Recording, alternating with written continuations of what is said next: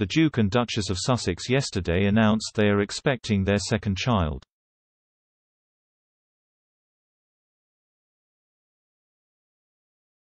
But royal expert Emily Andrews admitted she was surprised the couple had revealed Meghan's pregnancy to the world.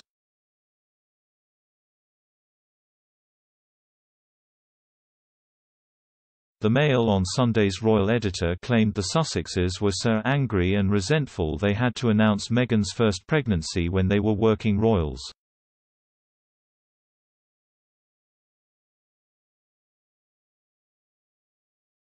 She added that the pair, who have quit royal duties for a new life in America, could have waited until the baby was born to make an announcement.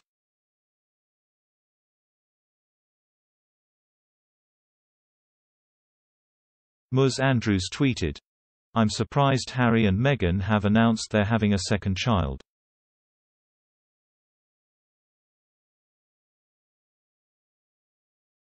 They were so angry and resentful they had to announce their first pregnancy.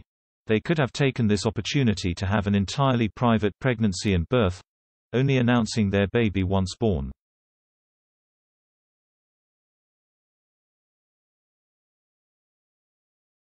The Duke and Duchess of Sussex are overjoyed to be expecting their second child.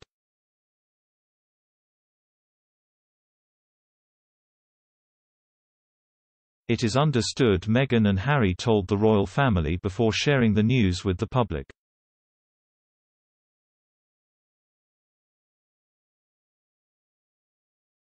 The former actress' due date has not been revealed.